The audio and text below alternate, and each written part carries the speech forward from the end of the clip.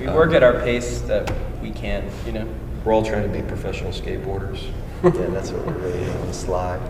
No, so you know, I mean, We just take our time, really. I mean, we just want to do it at our own pace. We don't really, I mean, we operate best under some sort of pressure, but, you know, this is supposed to be fun, you know, so we're gonna, we're gonna do it the way we want to, which is, you know, it's a two-edged sword, you know, they say things, you know, like, if you, you know, it's like representing yourself as an attorney or something, you know, there's no set of objective, objective ears in there.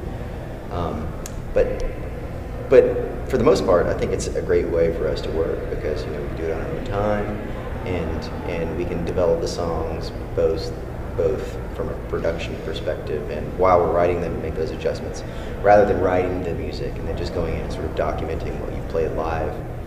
Um, the the recording of it will inform the live performance more this time, I think.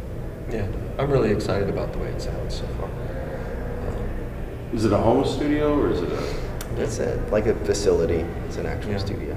We share it with uh, Paul, Paul Barker, who was the producer of the last record. He's not, he's not working on this record, but uh, we kind of combined everything we had, and, and we share this this space, which is built out, you know, as a studio. So it's a it's it's a great it's it's a great little studio. I mean, it's it's not like you know recording the Bahamas or anything like that, but It's just like but it's you know it's it's very functional, great great place for us, and uh, you know, and I think we're getting some great sound. And Yeah.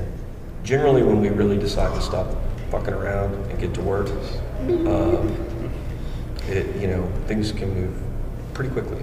Um, so I mean, we write a lot of songs.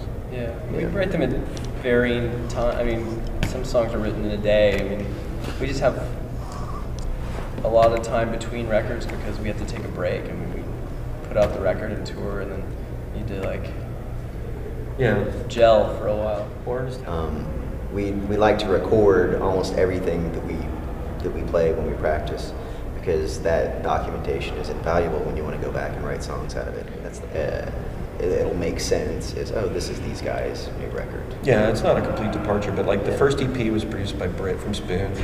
Very dry, if you listen to Spoon Records, very dry, minimalistic sound, and that came through on the EP.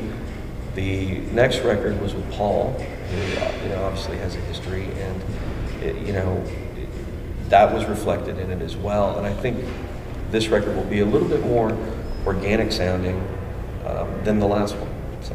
So that's pretty vague, but that's that's what I think. And how music leaks these days, you know, it's crazy. You know, we'll be working on some stuff and hoping hoping that people will buy the record, but we know that in the back of our mind it's going to get leaked. People are going to download, re-download stuff. It's crazy. I don't know. I oh, mean, Not no, really, people, I yeah, there's no there's no point in having a problem with it. You know, it's like people just want to hear it. You know, and it's like one of those things. It's it's the, the tap has been released. You know, and there's no going back. It'd be nice if it was mixed, you know. um, Yeah. You know, on a basic level. Does it sound Uh. But anything beyond that, I, I don't. I don't. It's pretty embarrassing that people get arrested for sharing music with people. Yeah, it's It pretty is still- weird. It's like still people happening don't record cassette mixtapes anymore. They just get MP3s. You know, it's like